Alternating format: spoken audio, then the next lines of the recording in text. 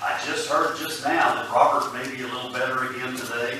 Well, I haven't heard this morning, but he's improved. He is making slow, gradual improvement, so that's a good thing.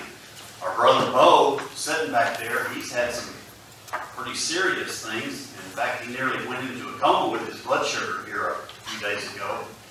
He's here, and we hope that's all better. Bo, you you still scheduled for some toe surgery coming up at some point, correct? Donna Dunnigan, that's uh, Donnie Joyce Powers' great granddaughter is scheduled to have surgery on February 10th. Okay, so that's this week to remove part of a kidney due to a cancerous tumor. So let's continue to remember her. Uh, I think that's all the announcements I have. Bert, I went as slowly as I could, partner, are we? Uh, yeah. Okay. All right, well, it's, we don't know if people that are watching, and and a lot of people have called in and said for one reason or another, they're watching this morning, and so they may not be watching. My phone will be blowing up here any minute. Anyway, let's begin our worship service with a word of prayer this morning, please. Almighty God, we are so grateful for this day. We are grateful for all that it means to us, for the privilege of meeting together in your name. We are awed, dear God, to know that you hear us this morning and that you are here with us. We pray your blessings upon us, dear Lord, as your people, as we move forward. Please guide us and protect us. Please give us your strength and your wisdom in all situations.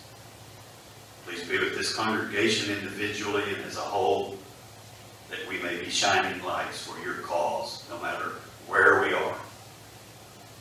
Dear God, please be with those who are sick and hurting in the Waldrop family, Chancellor family, for Donna Dunnigan, for Matt Crandall and Ronnie McKee and others had problems. We pray, dear Lord, that you would issue them health. All things, your will be done. Dear God, please be with our country and our leaders that they may come to know you and that all of us may live in peace. Please, dear Lord, bless our military, men and women around the world that are keeping us safe. Please, dear Lord, be with us in moments of temptation and we beg forgiveness of our sins. These things we pray through Christ. Amen.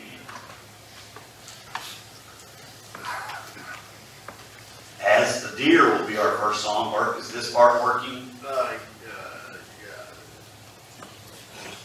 yeah. Yes. Okay. We'll sing both stanzas of this song. As the deer pants for the waters, so my soul longs after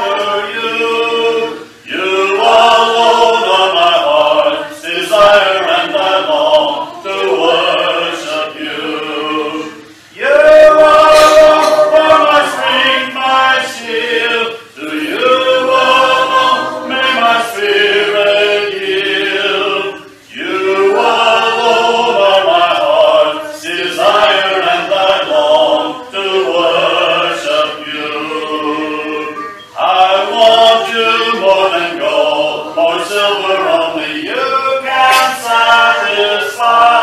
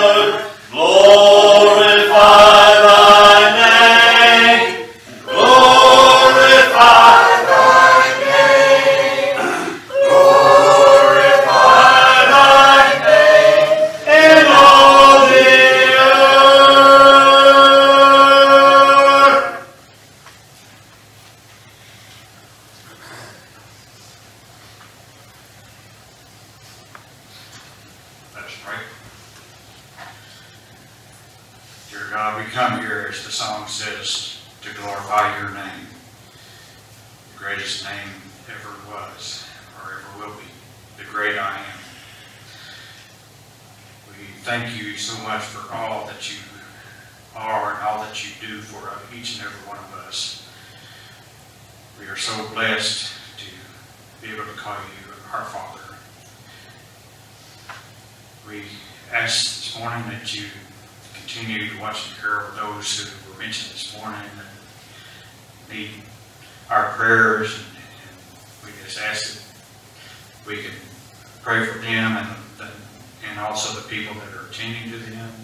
We just also ask that you continue to be with us as we battle this virus. Hopefully, things will start turning around get back to something normal. We just ask that you be with Ken this morning as he brings us another lesson from the life of David, that we may take that and live it out in our lives and, and just know that he was a man after your own heart, and that we can also be. We ask that you continue to watch and care over our country, and that you bring our leaders to, to know you, that they can lead by your example and not by our example. We just thankful for our people overseas that are fighting and, and we just ask that you watch and care with them, our soldiers, bring them back safely when they're tours. And we ask that you forgive us of our many sins. These things we ask in Christ's name.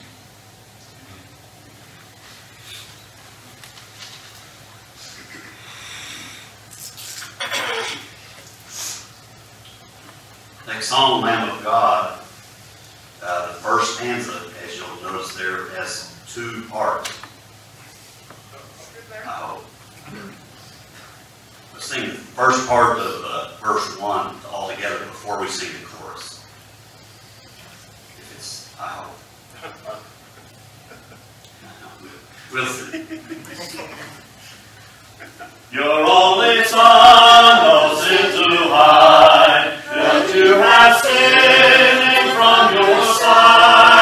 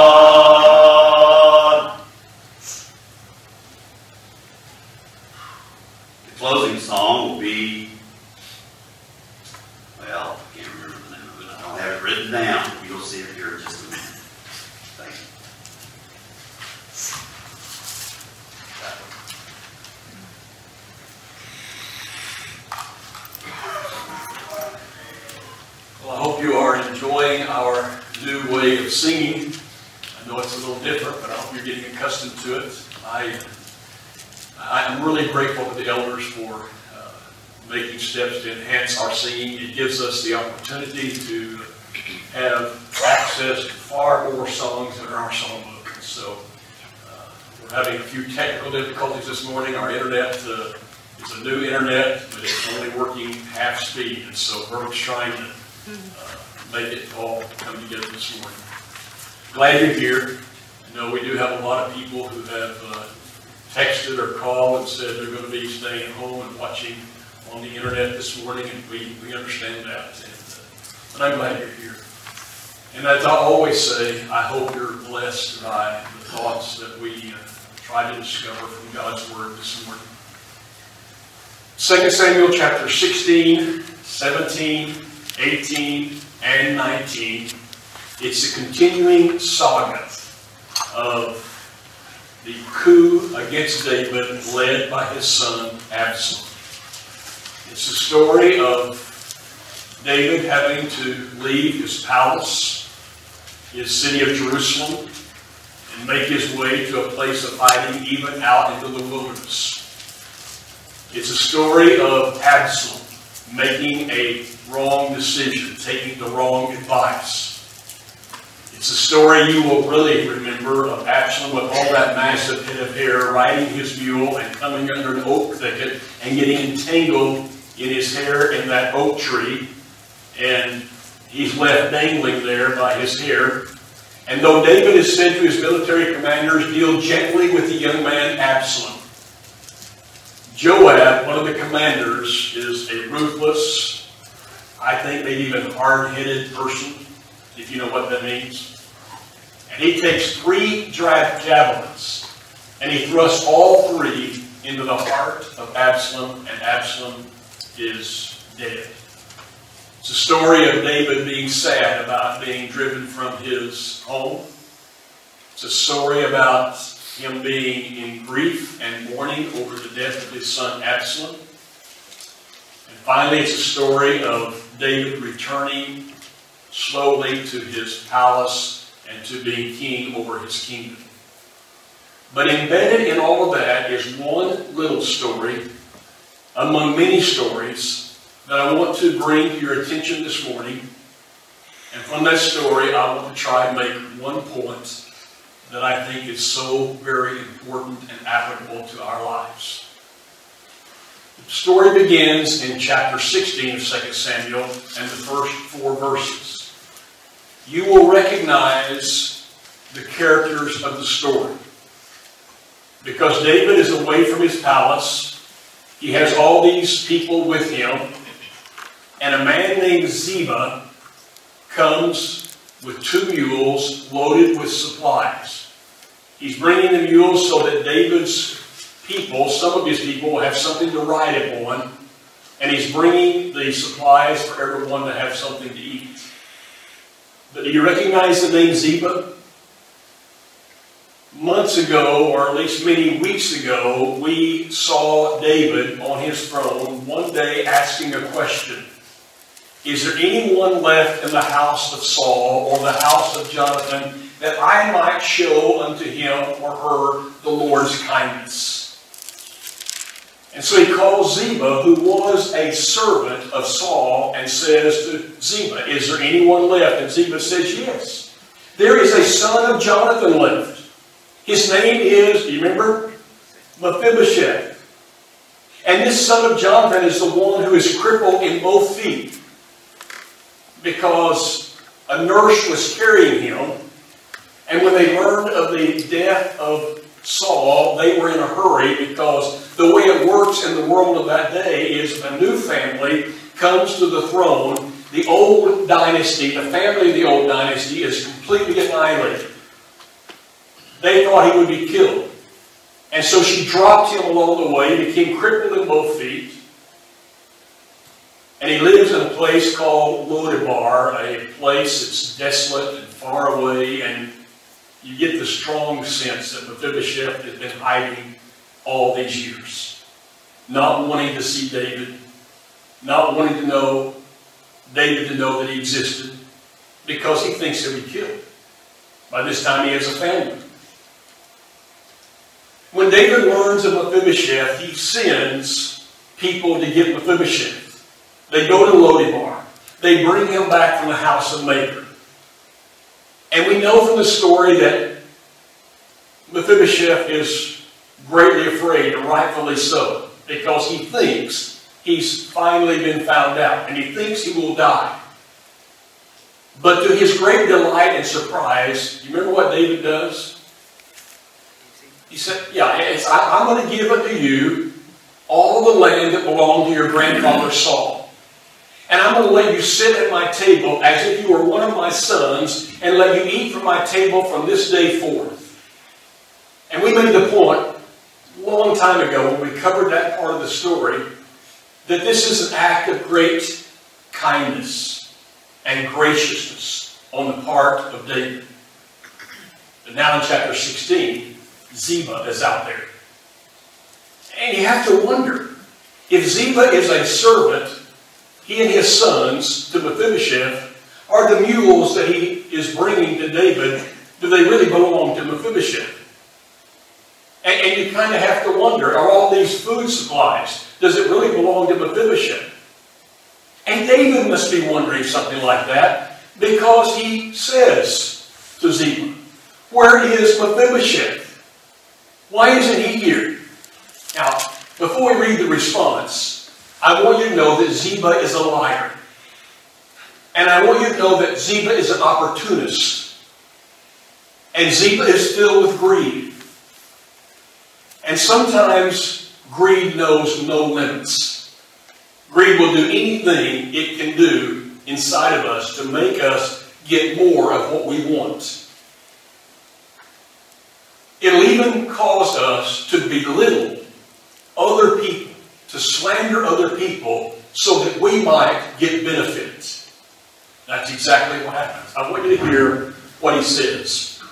The king then asked, Where is your master's grandson? Where is Saul's grandson? Where is Mephibosheth? And Ziba said to him, He is staying in Jerusalem because he thinks, Today the Israelites will restore to me my grandfather's kingdom. He thinks he's going to become king. He thinks this coup is going to destroy you and he'll be destroyed, absolutely destroyed, he'll get to become king. Then the king said to Ziba, All that belonged to Mephibosheth is now yours. I humbly bow, Ziba said. May I find favor in your eyes, my lord the king. I, we know, don't we, that David is an impulsive person. David, like Peter in the New Testament, is an impulsive person. I am an impulsive person. Everybody remember that? Long, long time ago, my father-in-law said, why don't you take this little Cessna 172 to Lubbock, and why don't you learn to fly it, and you just keep it out there and fly. You fly back and forth to Cordell, fly where you need to fly. And I was thinking that's a pretty slick idea. And Sue said, you go ahead and do it. But I will never, ever fly with you. She said, because you're too impulsive. You'll see something on the ground, say, look down there, shoot, everywhere we go. She said, I'm not flying with you, never. I'm an impulsive person too. David makes a snap decision, it seems to me. I'm taking everything away from Mephibosheth. I'm giving you, Ziba. Now you go to chapter 19. You begin verse 24. And now David is finally really getting close to Jerusalem. People are coming out everywhere. And, and they are watching the king as he comes back. And Mephibosheth comes out. But Mephibosheth is a pitiful sight. It, it says that Mephibosheth has not taken care of his feet. Now, I don't know what that means. But apparently there was something he could do to take care of his feet that made him less crippled. It says he had not trimmed his mustache. He had not washed his clothes. Now, David's been gone a long time. He's looking at this point like a sad character, a pitiful character. And there he is, waiting for David. And when David arrives, David has this question Why didn't you come with me, Mephibosheth? Now, I, that's, that's, that's a good question. Why didn't you come with me, Mephibosheth? You, you have any thought? Do you wonder what David is thinking? Mephibosheth, I could have killed you. But I gave you all the land that belonged to your grandfather Saul. I let you eat at my table. Where was your loyalty? Why didn't you come with me? I want you to listen to Mephibosheth's response. My lord the king, since I, your servant, am lame, I said, I will have my donkey saddled, I will ride on it, so I can come with the king. But Ziba, my servant, betrayed me. He has slandered your servant to my lord the king. My lord the king is like an angel of God. So do whatever you wish. All my grandfather's descendants deserve nothing but death from my lord the king. But you gave your servants a place among those who eat at your table. So, what right do you think I have to make any more appeals to the king? David said to him, Why say more? I order you and Ziba to divide the land. Now, again, I, I, I just stop there and say I don't understand David. Maybe there's more to the story I don't know. But why did Ziba get anything? Why did Ziba kill? Maybe it's another impulsive, rash decision, or maybe I just don't have all the facts. But it just doesn't seem right that half the land goes to Ziba after what he's done. But then Mephibosheth comes back and says, I don't care. I don't care if I get anything, as long as my lord the king is back on his throne. I don't care about the land.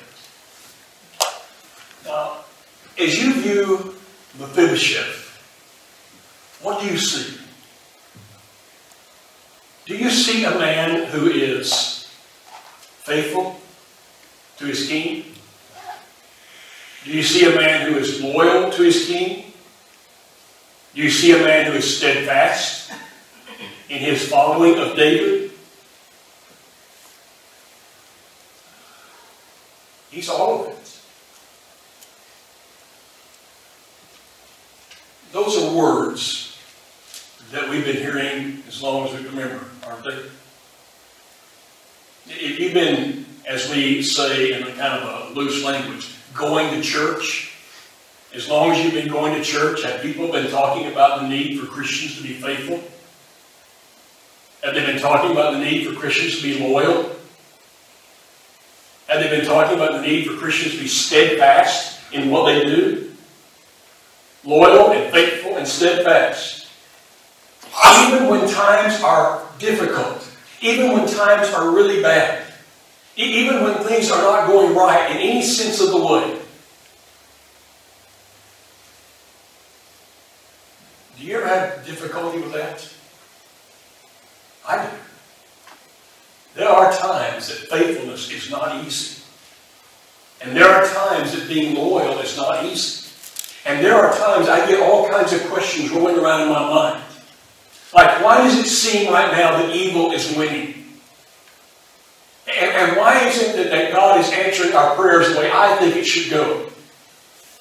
And, and why are all these problems ganging up at one time upon me? And it's easy at those thoughts for us to become weary, as the scripture says, in our well doing. It's so easy to become weary in our well doing. Here's what I want you to hear. I, I don't know if I'll explain this well or not. But if you are trying to live in faithfulness, and you are trying to live with loyalty and steadfastness, by your own willpower, by your own willpower, it will never work. It will never completely work. Because our willpower is limited. our willpower will only take us so far. Almost every evening, I find that my willpower is weak because almost every evening I make up my mind after I eat my evening meal, I will not snack. How long do you think that lasts? That lasts no time. I mean, here I go, and I'm rating this or I'm rating that, and, and, my pants are getting tighter, and, and I have no willpower. It'll only take me so far. So how, how do I, in such a difficult circumstance, remain faithful and steadfast and loyal? Mean, I see it. I see it right there. I see it in Mephibosheth, don't I? I mean, in reality, this story that Ziba tells that he will become the king in place of his grandfather, that's absurd. What is likely going to happen is if Absalom wins, he's dead. Because Absalom is ruthless and Absalom will kill all of Saul's family. And he's got everything to lose. And yet he remains so loyal to David, even though it appears to everyone that David will never be on the throne again. He is so loyal and he's so faithful. Why? Why? Out of his own mouth, he says it. Because you extended to me grace. You gave to me grace. I deserve, this is what Mephibosheth said, I deserve to be put to death. Every descendant of my grandfather Saul deserved to be put to death. But you gave me a place at your table. And that's all Mephibosheth seems to be able to think about, is how good David had been to him. And that promoted in his life, regardless of what happened to him. He said, if I don't have anything left, I want you to be king. I will be faithful, loyal, and steadfast. That's his attitude. Now, that is a secret for us this morning. I am now convinced, it's only my opinion, it's only my theory. The theory is something that hasn't been proved wrong, by the way. You may be able to prove me wrong, I'm not sure. But I believe that it's only a constant focus on the grace of God that has been extended to us that will allow us, under any circumstance, even the worst of circumstances, to remain faithful, to remain loyal, to remain true to our God. Now, what am I talking about? We, we talk about every week. We talk about every week. And because we talk about it every week, and because we talk about it around the Lord's table all the time, I'm afraid we forget. I'm afraid we take it for granted. But the truth of the matter is, you and I are sinners. We're sinners. And it's, it's, it's not a matter of how much we sin. It's just a matter of sin. And God is so holy and so perfect that He cannot tolerate sin, cannot touch sin. And so everything that touches sin, He can't touch. That's why we were alienated from God. As we like to say, we were lost. We're absolutely lost. And what does it mean to be lost? It means to face judgment someday. And it means to be punished for a long, long time. It means something horrible.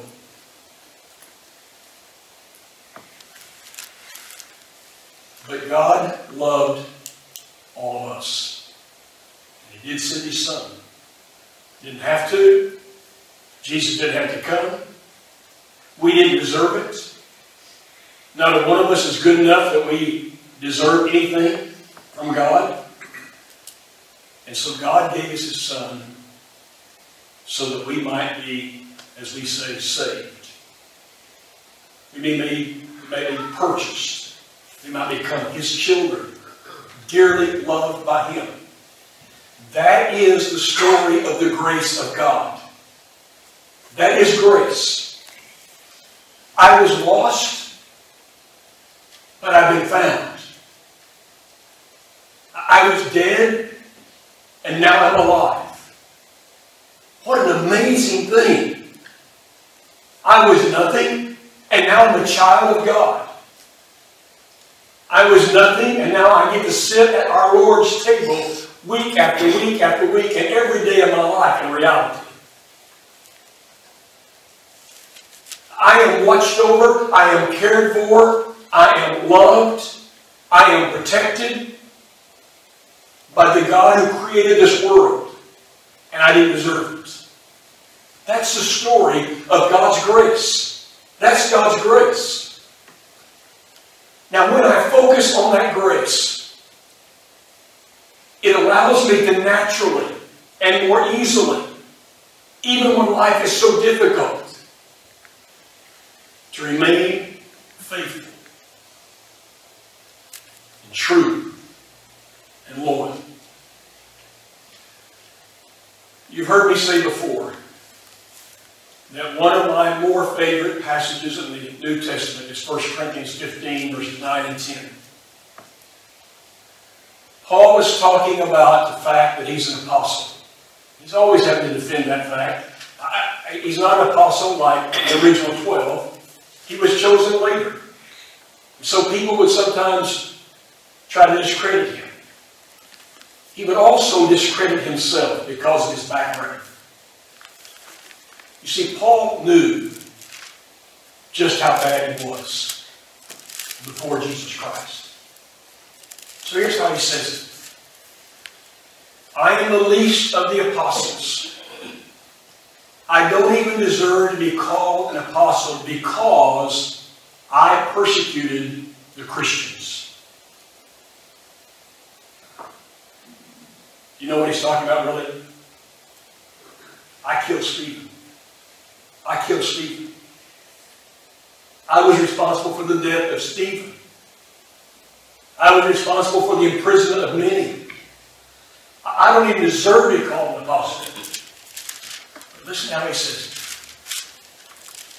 But I am what I am today by the grace of God. And that grace was not without effect. It caused me to work harder than everyone else. It caused me to do all these other things. Not trying to get himself better with God, not, not trying to earn anything. I just know what God did for me. And it caused me to be different in this life. Have you ever thought about Paul's life? Really thought about it? I wonder if he had happy times. Well, sure he did. Surely he had those days where they were wonderful. But about all we ever read about are difficult times. In jail, stoned, shipwrecked, being chased by people, being slandered by people, all because he is a follower of Jesus Christ. And yet, he fights the good fight and he keeps the faith. He finishes his course. He hangs in there. Faithful, it's called. Loyal, it's called. True, it's called. Why? Because he knew what he was. And he knew what God did for him and what he became. And it changed the way he looked all of life. Now, if you and I want to be faithful, loyal, true, regardless of circumstances, and even greater than my own willpower will let me become, the solution is to focus on the grace of our God. I was lost. I've been found. I was dead. I am alive. Look what God has done for me. So my opinion, it's only a healthy, constant focus on God's grace in our lives that promotes true faithfulness, loyalty, and steadfastness. And we think a lot of things, we come around this table, a lot of things. But you know what we really ought to be thinking more than anything else that along with everything else? This is a reminder of the grace of our God. He didn't have to do that. Didn't have to send his son, but his son came. His son didn't have to come, but he came. He didn't have to be nailed to a cross. I don't like to be stuck with a needle, but to be nailed to a cross. He didn't have to be whipped, but he did. It was all a gift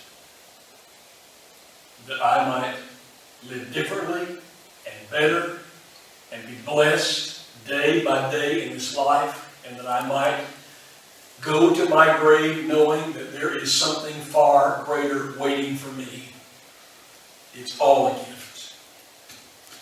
I don't want to ignore that gift. So think about the grace of God that promotes in our lives faithfulness when we take the Lord's.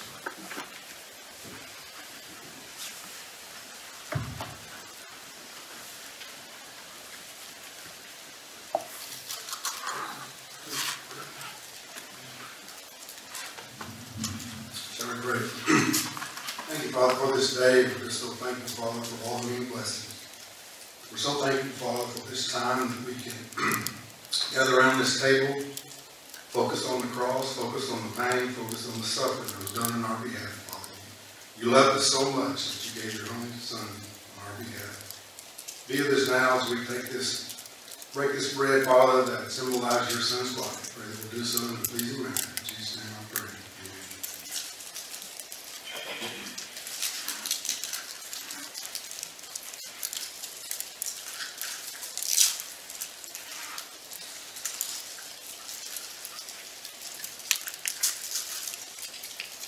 Amen. Again, Father, we're so thankful, Father, for all that you do for us. We're thankful, Father, for this time to continue our thoughts, continue our focus on the pain, focus on the suffering, focus on the love you have for each one of us through the sacrifice of your Son. As we take this fruit of the vine, I pray, Father, be with us, bless us. In Jesus' name I pray.